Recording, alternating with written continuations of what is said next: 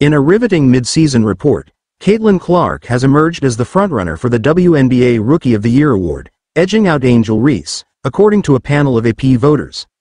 Both rookies have captivated fans and pundits alike with their exceptional debut seasons, earning the rare distinction of becoming the first rookie duo to make the All-Star team since 2014. Clark, representing the Indiana Fever, has dazzled with her scoring prowess, leading the league in points accounted for and becoming the first rookie to achieve a triple-double in a game, a feat accomplished during a victory over the New York Liberty.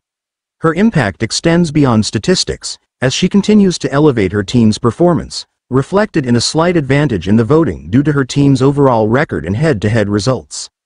Meanwhile, Angel Reese of the Chicago Sky has etched her name in the record books by setting a new WNBA standard with 13 consecutive double-doubles, showcasing her dominance in rebounding while bolstering her team's competitive edge.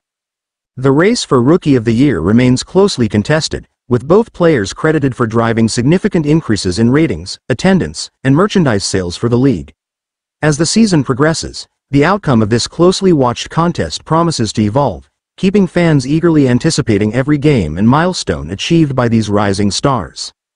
Elsewhere in the league, Las Vegas Aces A'ja Wilson has earned unanimous acclaim as the midseason pick for Player of the Year, asserting her dominance with impressive statistical averages and milestone achievements. Cheryl Reeve of the Minnesota Lynx has been recognized as the frontrunner for Coach of the Year, guiding her team to success in both league standings and capturing the Commissioner's Cup title. As the WNBA season continues its thrilling momentum, with top teams jostling for position in the AP Power Poll, and standout performances emerging each week, the anticipation builds for what promises to be an unforgettable season of women's basketball at its finest.